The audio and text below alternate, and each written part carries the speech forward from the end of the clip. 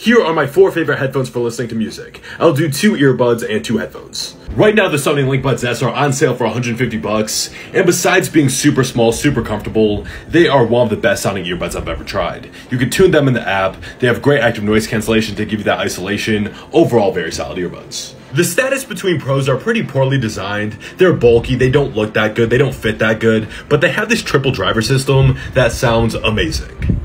So if you're willing to take that trade-off, they're they're pretty solid. When it comes to over-ear headphones, of course you have to mention the Sony Mark 4s and Mark 5s. With the Mark 5s, you get a carbon fiber driver, you get a very nice, rich, full sound signature. Uh, there's a reason why these are considered the best wireless noise canceling over-ear headphones on the market. If all you want is concussive bass, you have the Skullcandy Crusher Evos. These have a vibration motor in them. So not only is the bass insane, it will shake your head.